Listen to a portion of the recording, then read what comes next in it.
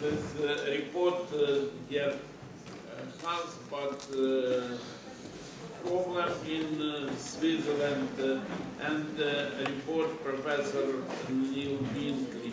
Trabecular bone score, clinical, practical clinical use at, at uh, in six steps. Thank you. I am standing in for uh, Professor Didier Hans today. Uh, These are uh, Didier's slides, and uh, the- the uh, speakers are, as you see here, and these are Didier's words. Professor Hans the wild and me the wise. I think he's saying the young and the old. Uh, But be that as it may, you can see that Professor Hans is clearly younger than I am, and I will do the best to uh, share his slides uh, with you today. This is the overview. We'll start with osteoporosis. And uh, all of you are aware that osteoporosis is not simply low bone mineral density, but it is also microarchitectural deterioration of bone tissue leading to an increased risk for fracture. This is an uh, old consensus definition, uh, consensus conference definition, but it's one that I like very much and it's one that I share with my patients uh, all the time. You're also aware of the, these data, I believe. This is a classic study that Ethel Siris published a number of years ago from the NORA report. And what it shows is that the majority of osteoporotic fractures occur in people who have a T-score better than a negative 2.5. And uh, the, is it because these people have microarchitectural deterioration that is not captured by BMD? Can we address that then with TBS? And what is TBS? And trabecular bone score is a software program that estimates bone texture information from the uh, spine scan as uh, you just saw. It is a unitless index and it is not a physical measurement. What it actually is, is comparing pixel by pixel X-ray photon absorption from the DEXA scan. Therefore, it is a surrogate of bone microarchitecture and of fracture risk, and it provides information about fracture risk additive to both BMD and clinical risk factors. And here is the principle of trabecular bone score. Uh, the uh, photo on the left is flying in an airplane over a forest, and you can't see each individual tree, but you can see where lo- the loggers have gone in and removed chunks of the forest. And uh, here, if we then take this homogeneous forest and apply it to a homogeneous vertebral body, we would get a high TBS, and conversely, we would get a low TBS. And it's important, I think, to emphasize that we are not seeing the trabeculae. TBS is a surrogate of microarchitecture, and this is a slide that Bill Leslie shared with me. And it uh, basically says that if you look at the top of an iceberg, this is the macrostructure or the texture, but it reflects the entire iceberg and therefore the microarchitecture. And so uh, TBS is a surrogate measure, not a direct assessment of microarchitecture. The TBS results are obtained simply by the software post-processing the spine DEXA. As such, it is possible to have identical BMDs, but dramatically different trabecular bone score. And here are two patients on the left with identical bone mineral density, but the person on top in green has homogeneous microarchitecture and therefore a high trabecular bone score, whereas this individual on the bottom with the identical bone mineral density has osteoporosis, heterogeneous texture, and therefore low trabecular bone score. So uh, TBS then at provides additional information in addition to what we get with bone mineral density. TBS has been accepted worldwide as an independent predictor for fracture by a multitude of organizations, as you see here. And it correlates with microarchitecture in an in vivo bone biopsy study of iliac crest uh, histomorphometry. And as you see here, the trabecular bone score calculates, or correlates rather, with trabecular number, trabecular separation, and bone volume per tissue volume, or BVTV. Uh, so it uh, is, in fact, correlated and documented to be uh, correl well correlated with histomorphometry. You'd think then it would predict fractures, and indeed it does.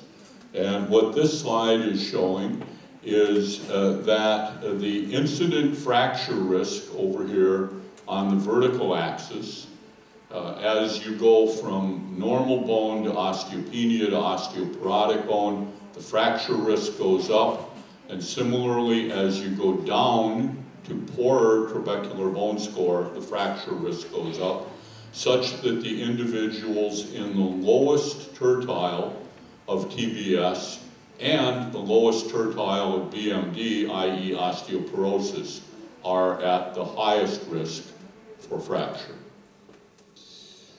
As a result, TBS is being utilized to adjust for FRAX.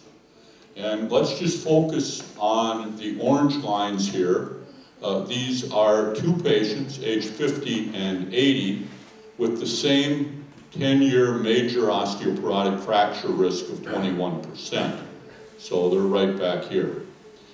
As the trabecular bones in individuals who have a better or higher trabecular bone score, the FRAX calculation goes down. And conversely, as the trabecular bone score gets worse, the FRAX calculation goes up. The dark orange is the younger woman, the light orange is the older woman. So FRAX has a greater effect, TBS has a greater effect on FRAX in younger women than in older women. And this is simply showing uh, how it is done. If you go to the uh, website, uh, you see that we've entered the risk factors, we've calculated it, and there is this box down here that says adjust with TBS.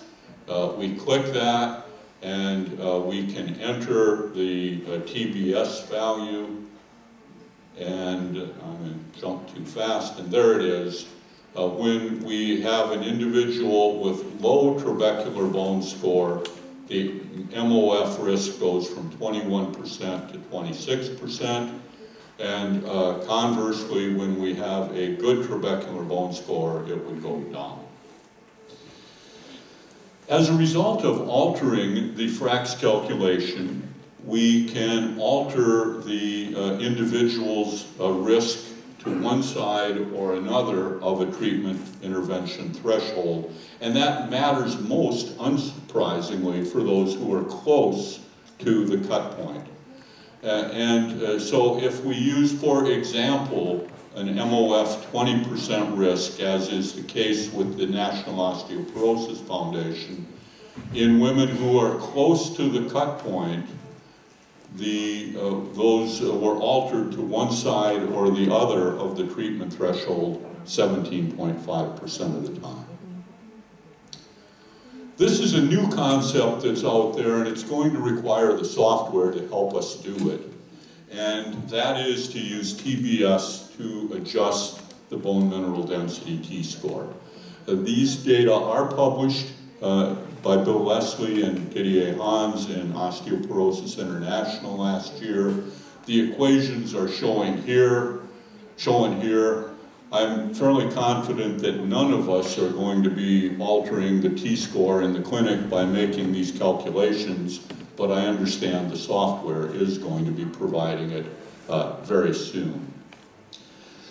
You've heard earlier today that TBS is helpful in uh, secondary osteoporosis. I'm going to go through this very quickly because we've heard about it uh, earlier on a number of occasions. But suffice it to say that TBS is associated with fracture risk independently of BMD in patients with type 2 diabetes, glucocorticoid exposure, primary hyperparathyroidism, HIV, and renal failure. Here's just an example of the studies with diabetes, and uh, it uh, basically says that uh, uh individuals who have type 2 diabetes and uh, that BMD tends to be high, uh, and despite this high BMD, they are at risk for fracture, but this is captured by the L1 through 4 trabecular bone score. In addition, this slide, the right-hand picture, basically says that uh, the TBS correlates with glucose control, uh, such that uh, individuals who have poor glucose control, the TBS uh, identifies those as having poorer microarchitecture and this is just uh, the forest plots of meta-analyses documenting that TBS tends to be low in individuals with diabetes. So I think the punchline here is that, that TBS is a good tool to help us with our patients with type 2 diabetes. Does TBS have a role in patient monitoring? This is controversial. but I, I think that we we should think about what our drugs are doing and how they might affect the bone microarchitecture. And so really the only medications that we have that could positively affect the bone microarchitecture are our bone anabolic drugs. Teriparatide, in some regions of the world, abaloparatide, and romosozumab. And so those are really the only agents that we should expect much from microarchitecture. There is a suggestion that denosumab may have some positive effects on microarchitecture, but the bisphosphonates and estrogen are simply slowing bone remodeling, allowing us to fill in the remodeling space, not build new trabeculae. So you would expect a BMD increase, but no effect on microarchitecture. Conversely, pathophysiologic states such as menopause, glucocorticoid use, and aromatase inhibitor therapy not only cause the BMD to go down, but also cause microarchitectural deterioration. So in various drug treatments or various physiologic states, you would expect differing effects on BMD and TBS, and indeed, that is what is seen. So this is a summary slide, and let's just go over here to PTH. This is the one that has the greatest effect on spine BMD, and it has the greatest effect on uh, TBS. So we get roughly a 10% increase in BMD and roughly a 5% increase in TBS. In contrast, because the bisphosphonates are only filling in the remodeling space, what we see is this roughly 5% improvement in spine BMD and little to no effect on TBS. And uh, then again, on the other end of the spectrum, the aromatase inhibiting drugs lower BMD, and because they also damage the microarchitecture, they lower the TBS. So thinking about the physiology and thinking about how the drugs work uh, should allow us to, in essence, guide our therapy. And that's what Didier, I think, is alluding to, is that we can use these concepts uh, to maybe choose our therapies. And that's where he's going here, is to which treatment.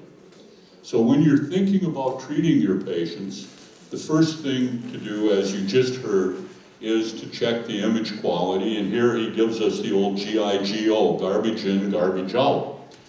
And so if you've got garbage for DEXA, you cannot make a good clinical decision. So here again, check for edge detection, make sure the numbering is appropriate, look for vertebral fractures and other artifacts. And uh, as, I, as uh, we have not mentioned in this presentation, TBS has a BMI limitation. If your BMI is too low or too high, TBS does not work.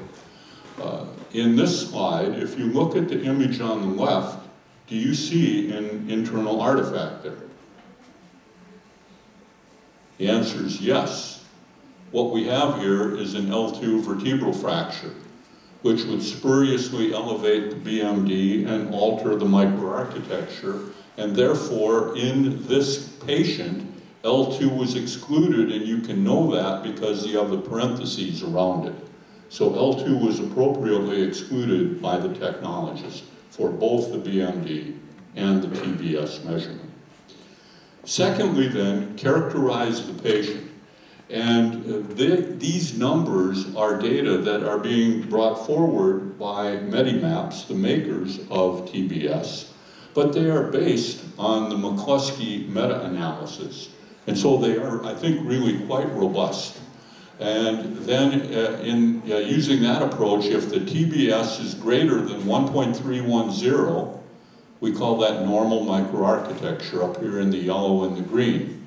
If it's worse than or below 1.230, that's consistent with degraded microarchitecture, and in between is partially degraded bone microarchitecture.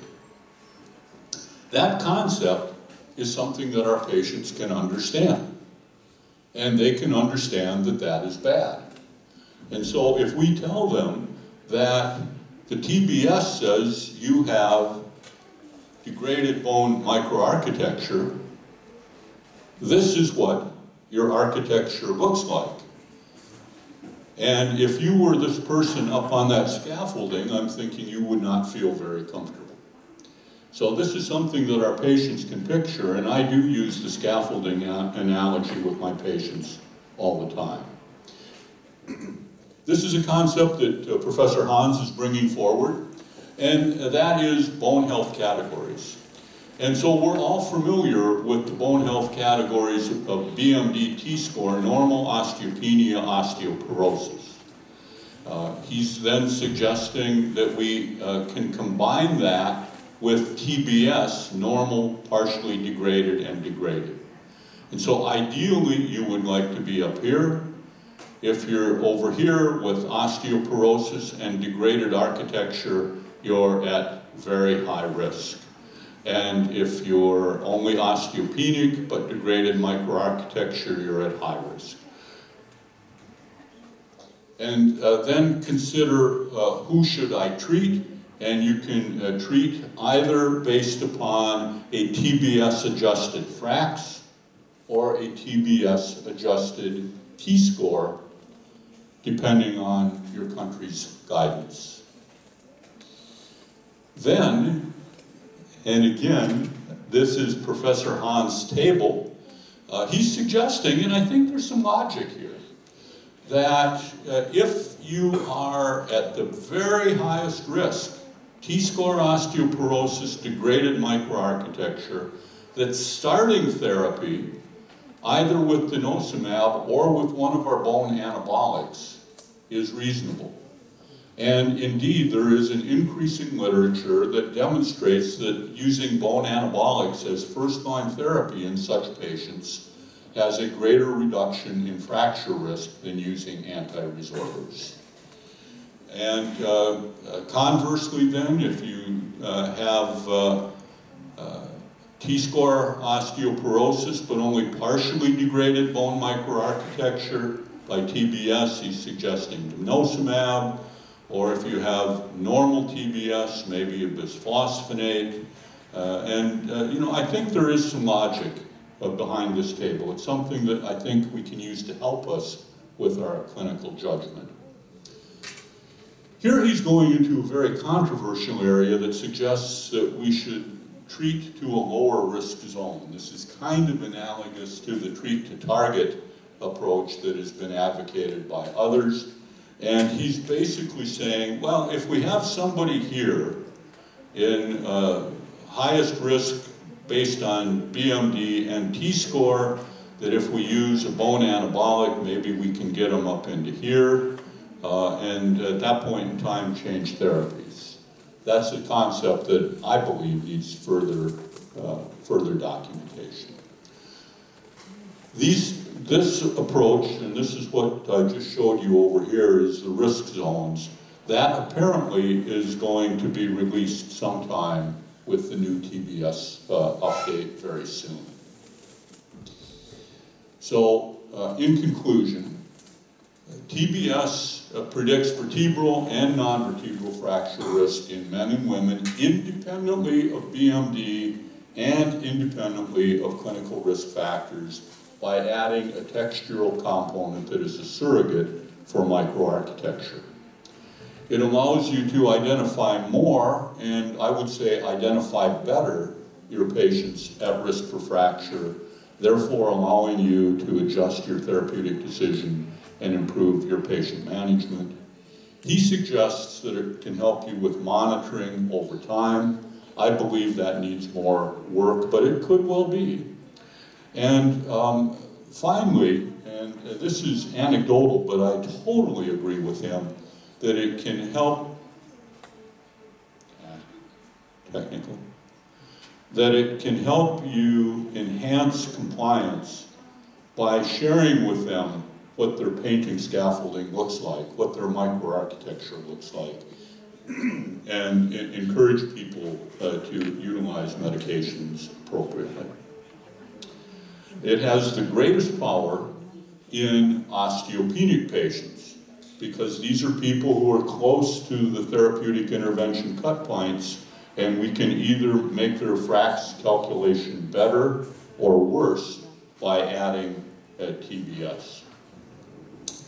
Data that he did not show in this presentation is this bullet here that trabecular bone score tends to be less affected by degenerative arthritis of the spine. And it's not rare to see someone who has a BMD T-score that is normal or plus one or plus two because of degenerative change and still has degraded bone microarchitecture. So that, I think, also provides good insight for patient care. And finally, it's important for patients with secondary osteoporosis, uh, identifying degraded uh, architecture. And so his conclusion is don't treat more, treat better, treat those who uh, are in need. And that even if you don't see something, the structure may be important. And I thank you.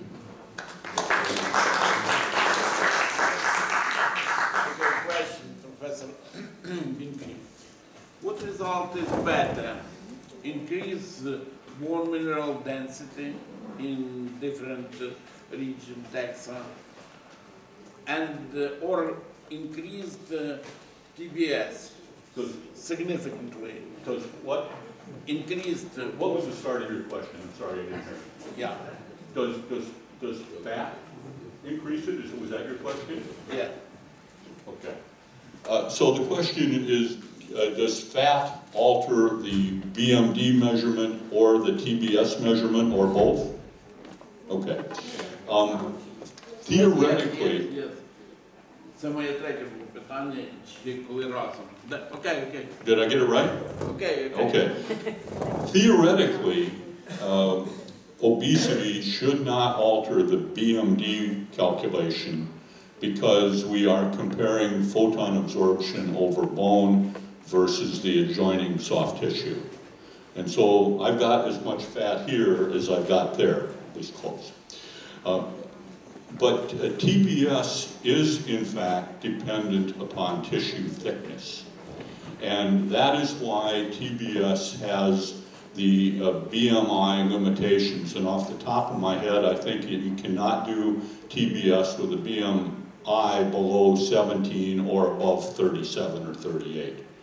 Uh, so as of today, TBS has BMI limitations. They are moving toward actually including direct tissue thickness measurements in the TBS calculation.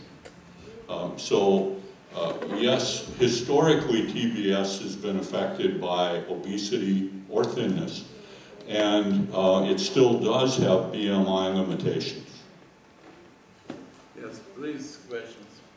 Please, Professor. Yes, uh, thank you so much for the great and educational lecture. Professor Sokolovich from Yes, CU. about this, sorry. Well, you know, thinking about TBS and the, in the site of uh, secondary osteoporosis, the glucocorticoid and diabetes, you know, and we know how actually, what they do actually on a circulation. Can we actually uh, think about the cause of this, uh, you know, like osteopenia in diabetes and the uh, corticosteroids, that uh, maybe uh, this microfracture, which is very, very important, is actually affected by the low circulation and atherosclerosis of the region. And uh, can we just learn about that, that we know that the statins using for the lipid lowering as a lipid lowering drug is actually affecting the bone and turn over the bone. So maybe we don't know that actually statins doesn't increase the BMD, but they probably affect micro uh, architecture.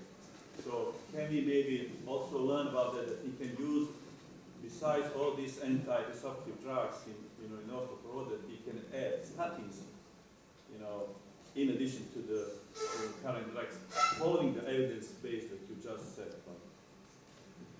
I'm not sure that I got your question, but I, I think, are you, are you asking if we should add statins into our anti-osteoporotic First, armamentarium? the cause of this, uh, you know, microarchitecture deterioration, maybe the circulation is, is underlying process. Yeah. And then if it, if it comes to this conclusion, maybe we can provide the statins to all the osteoporotic patients. Yeah, I, I, I totally endorse what you're saying, is that we should be thinking about the pathophysiology that's causing the uh, microarchitectural deterioration and the, and the TBS to be low. I, I think I understand that physiology with glucocorticoid excess. I'm not sure that I understand it as well with diabetes. Um, uh, But I, I, I uh, totally endorse the concept of saying, let's use the tools that we have to try to understand the pathophysiology better. And maybe therefore make better informed therapeutic decisions. Well, interesting, you know, there's been that like statins, they have positive effect on the bone, and some uh, uh, bisphosphonates other anabolic agents, they have a positive effect on circulation. So it's actually Yeah, I, maybe, uh, I, I, I, are you, you referring to the paper that came out last week? Because I haven't read it yet. no, I just. I, I just, I just saw it come in on my email that apparently there's now a big uh, epidemiologic study that says statins are bad for the bones. I haven't read it yet, so I, I can't comment on it, but, um, uh, yeah, and, you know, I mean, the bisphosphonates work through the mevalonic pathway, I can at least think about, uh, why statins might have deleterious skeletal effects. I don't wanna believe that, and I have not read the paper, but I, I, totally agree that we need to think about the pathophysiology that we're dealing with, rather than just accept meta-analyses as truth. Yeah, I think definitely animal studies show that statins have positive effect on the bone, and from these animal studies, you know, many studies were done. And, and that would make sense, um, I, you know, in, ultimately, that inhib, in, inhibition of the mevalonic pathway is kind of pretty much what the bisphosphonate, or what the statins are doing. Correct, okay, thank you. Thank you. Thank you, Professor. The next presentation